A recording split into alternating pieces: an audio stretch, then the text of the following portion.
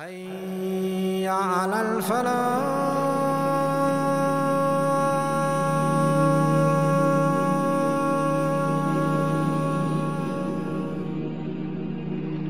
We have become a people that put our Iman in a linguistic sense and wealth, as though it is the enabler of our time. However, in spite of great wealth, we see so many people who are bereft of the ability to do anything meaningful with that money. We see this especially amongst many of the professionals who are successful in the city. They earn great money, but are unable to save anything. It is as if their money is devoid of any barakah. But rizq is not only wealth, but also everything else that you have been blessed with in your life. From people, to assets, to nature, to the clean air you breathe, to everything luxurious you possess, materialistically as well as intellectually and spiritually.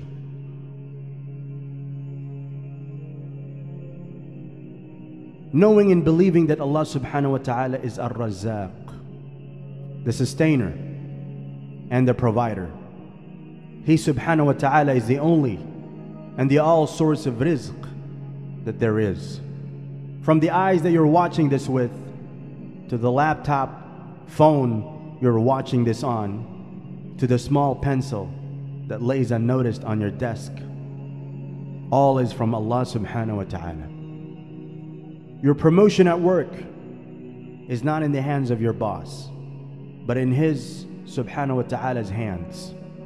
Your boss might be just the means of getting it to you. Know and believe that all the rizq comes from Allah subhanahu wa ta'ala.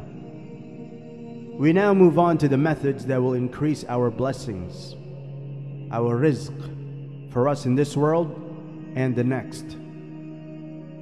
Number one, doing much istighfar, being humble and acknowledging your sins before Allah, thereby seeking repentance. Istighfar is a highly merited act of worship in Islam. It holds an eminent power for us as believers, seeking the all powerful when we crumble and fall again and again. Not only does it remove our sins if we are sincere in our intentions, but it also becomes a means of ease and blessing for us. Ibn Abbas said, The Messenger of Allah, peace be upon him, said, If anyone constantly seeks pardon from Allah, Allah will appoint for him a way out of every distress and a relief from every anxiety, and will provide sustenance for him from where he expects not. Number two, keeping the ties of kinship. This, I feel, has become one of the most difficult things to attain in our times. With so much unwarranted busy schedule of our life, we have forgotten the sunnah altogether or don't really understand its importance. Visiting our relatives, keeping good relations with them, is vital to the social structure of Islam. Today, it is easy to break the ties than to keep them. And there are good and bad relations everywhere. I understand that. Not all people are alike and good. That's natural. But you seek out the good in others and ignore the faults they have. The aunt of yours who badmouthed you. The uncle was never anything good to say to you. It would seem normal to keep away from them. But instead, try being more forgiving and maintaining the ties, not for them, not for your needs, but only to please your Rabb. Expect nothing from them, no goodness, nothing in return, and expect your reward only from Him subhanahu wa ta'ala. It makes it a lot easier to handle the negative people in your life. Narrated Anas bin Malik, I heard Allah's Messenger, peace be upon him, saying, Whoever desires an expansion in his sustenance and age should keep good relations with his kith and kin. Number three, if you want more, give more. Yeah, you heard it right. That is how it is with our beautiful deen. When you give more of your rizq in the way of Allah subhanahu wa ta'ala, He subhanahu wa ta'ala promises to bless you more with it. The more you spend in His way, the more you shall receive, insha'Allah. Therefore, always be charitable. Spend from whatever you have your wealth, food, clothes, talents, skills, anything that you can help others with for Allah subhanahu wa ta'ala is charity. The more you spend, the more you receive. The likeness of those who spend their wealth in the way of Allah is as the likeness of a grain of corn. It grows seven ears, and each ear has a hundred grains. Allah gives manifold increase to whom He pleases, and Allah is all sufficient for His creatures' needs, all knower.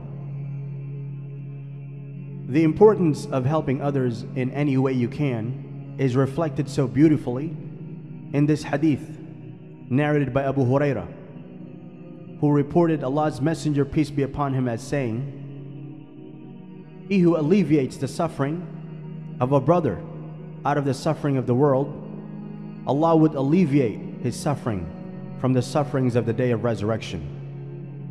And he who finds relief for one who is hard pressed, Allah would make things easy for him in the hereafter. And he who conceals the faults of a Muslim, Allah would conceal his faults in the world and in the hereafter. Allah is at the back of a servant so long as the servant is at the back of his brother.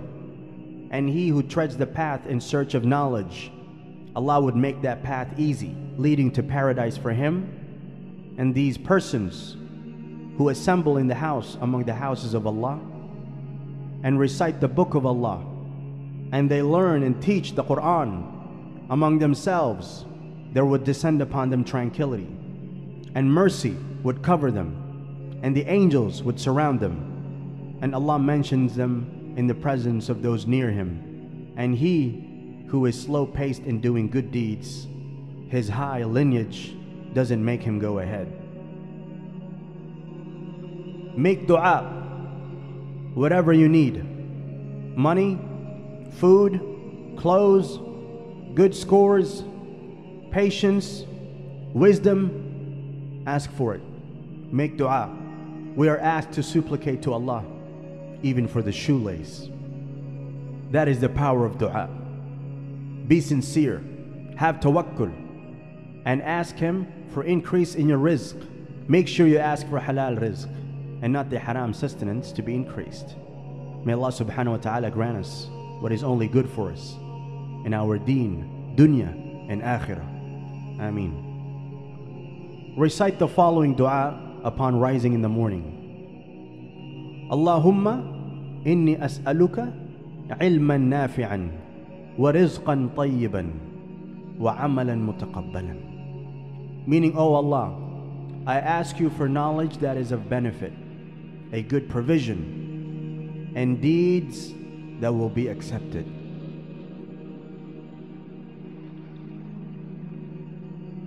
Next is get married and have children. Today, because we made marrying so difficult for ourselves, it looks like we would rather be better off without marrying and having children. Most of the couples prefer to have one or two children, excusing themselves by rationalizing the ever increasing expenses that they come with. However, the affairs of a believer are not so. Allah subhanahu wa ta'ala has written the rizq of everyone even before He created us. If you think like you can't support your wife and three or four children, you're absolutely right, you can't. Because it is Allah who will support and provide for them. They are a rizq to you from Allah subhanahu wa ta'ala. And they all come with their own rizq as well. Allah will support and provide for them. You don't have to worry about that. He subhanahu wa ta'ala will provide for you through them making them a means to increase your rizq as well. Trust Him subhanahu wa ta'ala on that. And marry those among you who are single. That is a man who has no wife and the woman who has no husband. And also marry the salihun, pious, fit, and capable ones. If they be poor, Allah will enrich them out of His bounty. And Allah is all sufficient for His creatures' needs, all knowing about the state of the people. And slay not your children for fear of poverty. We provide for them and for you. Surely the slaying of them is a great sin. 5. Be grateful to Allah subhanahu wa ta'ala. Allah subhanahu wa ta'ala has provided you with everything. After all your shortcomings, He subhanahu wa ta'ala loves you and blesses you with more and more every day. He subhanahu wa ta'ala deserves all the praise and gratitude from you. Not that He subhanahu wa ta'ala needs it, for He subhanahu wa ta'ala is above all such needs. But in this too lies His mercy for us, the creation. If we thank Him more, praise Him more, He subhanahu wa ta'ala promises to bless us more. How can we miss out on such a profitable deal? And remember, when your Lord proclaimed, If you give thanks by accepting faith and worshiping none but Allah, I will give you more of my blessings.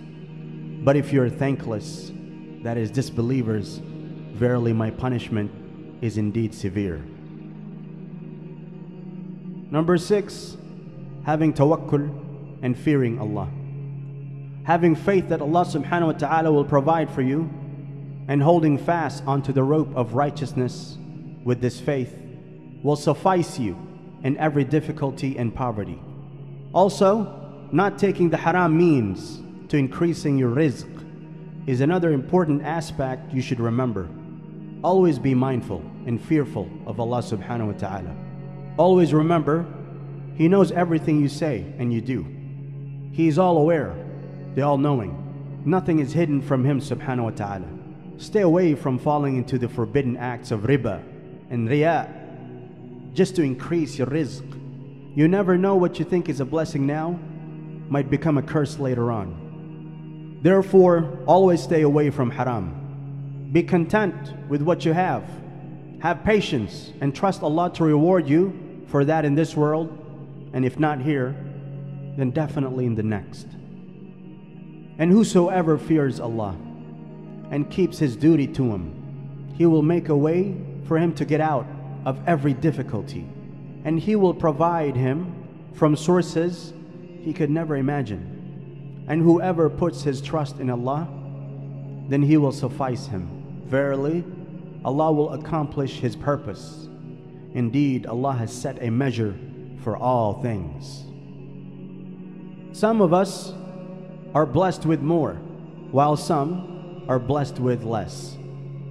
Don't get jealous or envious, or worst, curse your life or fate.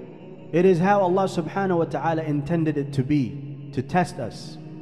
When we have more, we are tested with how to dispose of it and what use we put the blessings. We are accountable for every penny that we spend. When we have less, He subhanahu wa ta'ala tests our patience, how gratefulness to Him in all situations, and how content we are. These are the tests we undergo every day of our lives. Sometimes we remember, while most of the times we forget. May Allah subhanahu wa ta'ala protect us from being heedless. Ameen. In either case, one should remember that our life and everything in it are from Allah subhanahu wa ta'ala. And when we return back to Him, the wealth that we hoarded here, by whichever means, will be left behind here. And all that we would be taking with us are our deeds and accounts of how we spend of them. I ask Allah subhanahu wa ta'ala to make us among those who will receive their book of records in their right hand, to make us among those who are patient and content with what they have, to make us strong enough to resist the temptations of this dunya, that is temporary goodness, and to help us all focus on the akhirah, which is the eternal bliss.